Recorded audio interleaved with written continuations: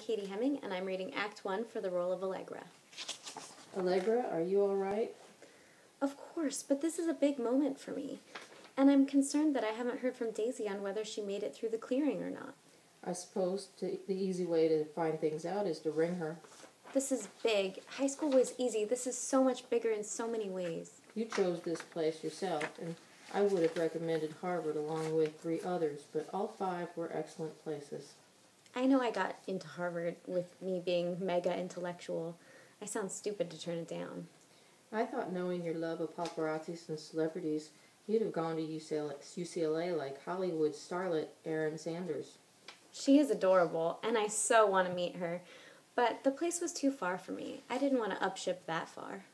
Good point. We are happy here, and your papa is doing well in his line of work, so we are better to stay afloat now, now that your mind is easy. Uh, are you going to ring Daisy? Yes, Mama. Hello? It's only me, just ringing to say hello and ask how your vacation was. Pretty thought provoking, although you've been to your fair share of dazzling destinations. Even so, I'd love to hear about it. Why, of course you can. I, I am sure we can talk through about it later today. I made it into North Alabama.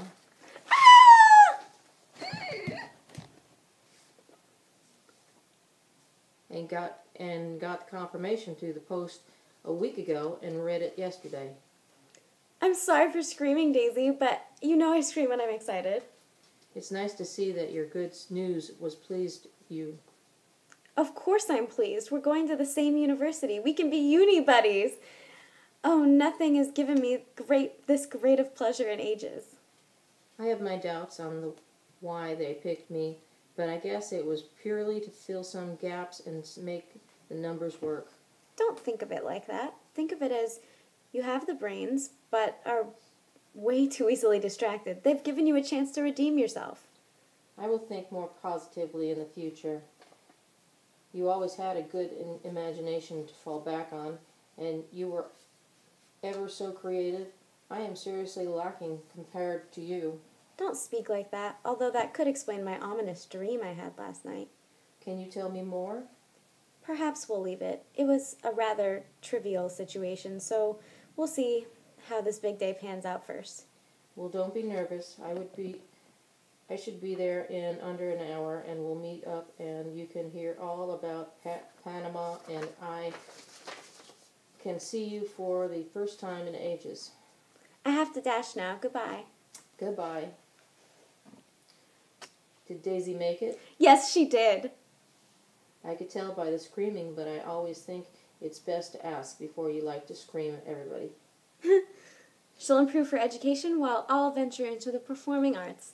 It's going to be such a life changing experience for us, and there's no one I'd rather spend it with than my best friend. I'll go now so you don't miss a bus and tarnish your good school reputation. I would do that for life nor money. You have a nice day.